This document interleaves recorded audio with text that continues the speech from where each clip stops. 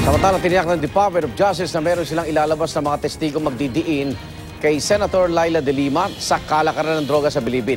Ayon kay Justice Secretary Vitaliano Aguirre II, apat hanggang anim na testigo ang iharap nila sa mga kongresista kapag nagsimula ng pagdinig ng Kamara. Kabilang umano sa mga testigo ang ilang gwardya preso sa Bilibid na malapit umano kay de Lima nung siya pa ang kalihim ng DOJ. Ang ilan daw sa kanila naghain na ng kanilang sinumpaang salaysay